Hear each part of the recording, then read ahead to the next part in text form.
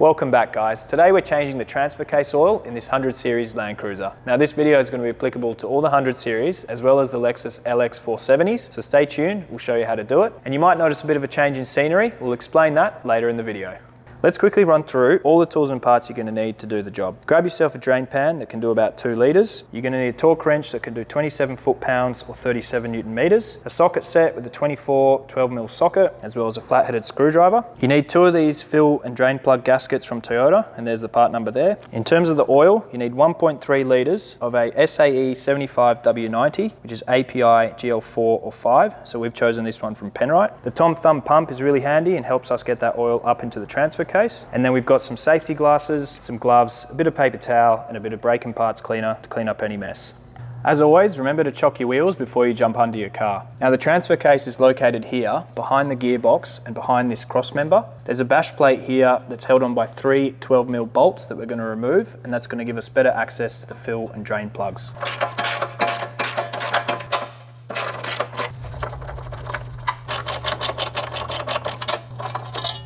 Now we can pop that over to the side. We're going to need to put that back on later. So now you've got a lot better access to your drain and fill plugs. Now it's best to do this job when the oil's warm or when you've driven the car. What we're going to do is start by removing this and there's two reasons for that. If you remove the drain plug first and then can't remove your fill plug, you risk getting into a situation where you can't fill your transfer case back up. Now removing this one first also allows air to come in and for that oil to flow out a lot easier. So grab your 24mm socket, and we're to crack both plugs.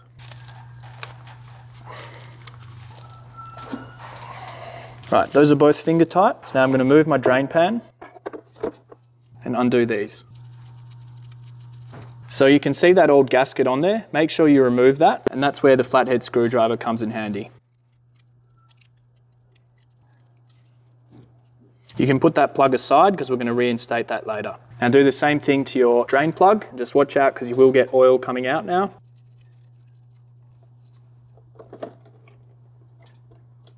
You'll notice that there's a magnetic tip on the end of the drain plug and that picks up any metal fragments that might be in the oil and gives you an indicator of where within your transfer case. That one's not too bad, so I'm not concerned. So same as the other one, we'll clean that one up and put it over to the side. So we're down at Omegaworks today, which is a brand new self-service garage that's just opened in Wangara, north of Perth. These guys have everything you could possibly need to work on your car, including hoists to suit any vehicle. They've even got tyre changing equipment, parts washers, hydraulic presses, sandblasting gear, transmission jacks, engine cranes, and all sorts of other specialty gear you could possibly need. They can even help you sourcing parts and four-wheel drive accessories. So check them out on Facebook or Instagram. Now that it's had a good chance to drain out, I'm going to give that area a bit of a clean with some rag or paper towel. Then I'm going to grab my drain plug with a new gasket reinstall that.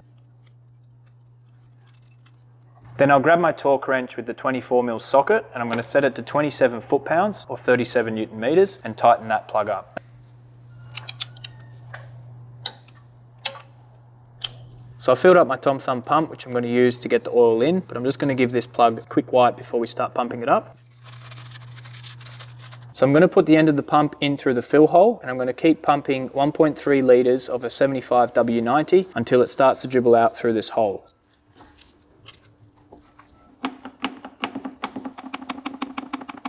Now when it comes to disposing of your old oil, you can take it to your local auto parts store or if you're somewhere like Omega Works, you can dispose of it through them for a small fee. Once you're near the 1.3 litre mark and you're on your second bottle, it's a good idea to have your fill plug ready to go with a new gasket so that you can pop that in as soon as oil starts to dribble out of that hole. And there it is there, it started to dribble out, so I'm going to grab my fill plug and reinstate that. You're inevitably going to have a bit of mess, so just grab some paper towel. And then we can grab our 24mm socket again and torque this one up to 27 foot-pounds or 37 newton meters, same as this plug here. Then we can grab that bash plate again with the 12mm bolts and reinstate that.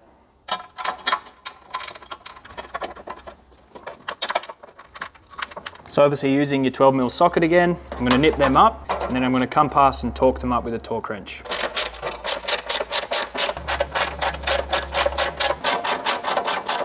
The correct setting for these is 21 foot-pounds, which is 28 newton meters.